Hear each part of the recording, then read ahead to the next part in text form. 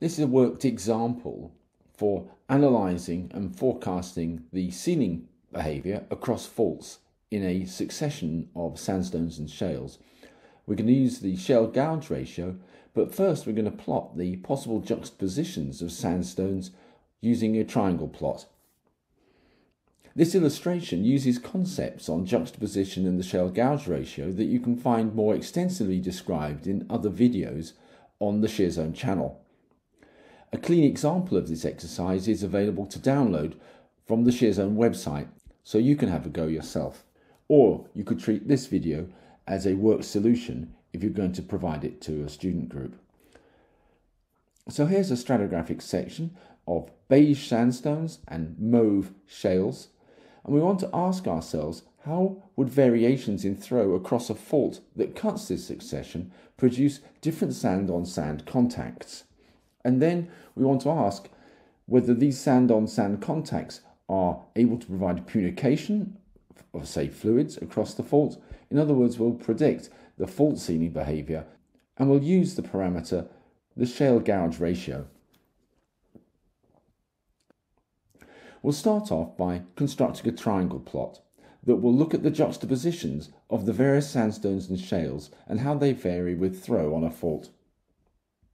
So on the triangle plot, I put the stratigraphy up the vertical axis and on the horizontal axis I've labelled the throw. The first thing we want to do is to replot the stratigraphic section along the throw axis and we do that by simply spinning our log section like this. And so we've replotted the stratigraphy in exactly the same scale along the throw axis. The next thing we want to do is to plot the stratigraphy as though we were plotting the footwall like this. So we've just extrapolated our stratigraphy horizontally across the diagram.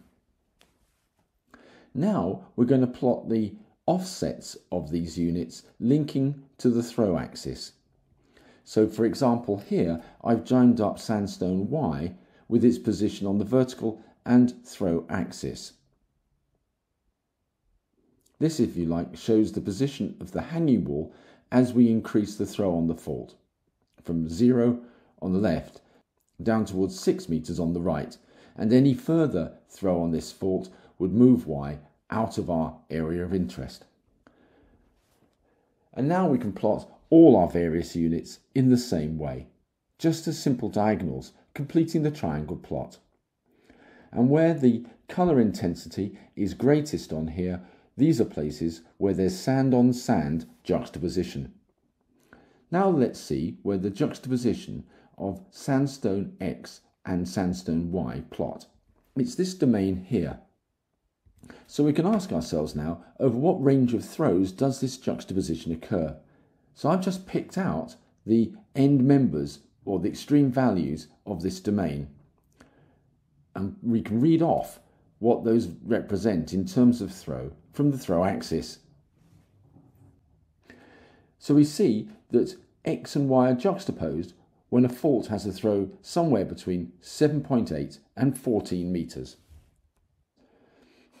So this is a really quick way of illustrating how different units are juxtaposed as faults that cut this succession vary their throw.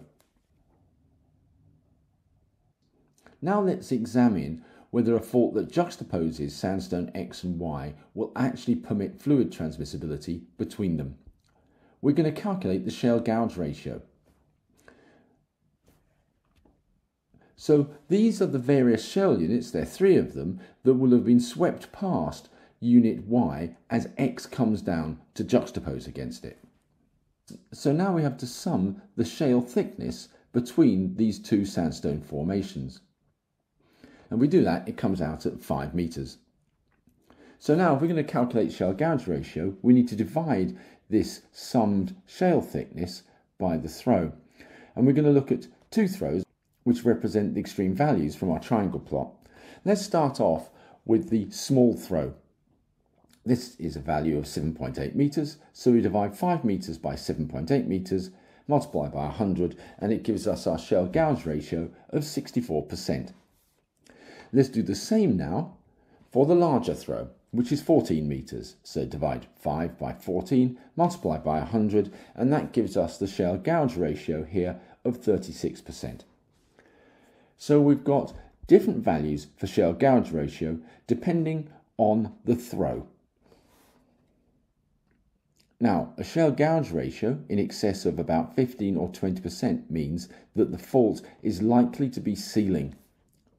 So, in our situation here, even though sandstone X and Y are juxtaposed, there's very unlikely to be fluid movement between these two sandstone units, even though they're juxtaposed, because the fault that has done the juxtaposition is likely to be sealing.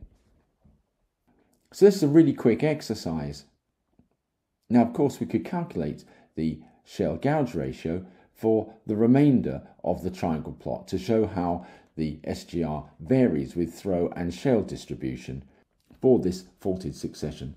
So a really quick worked example of the application of the triangle plot and the shale gouge ratio to examine fault seal.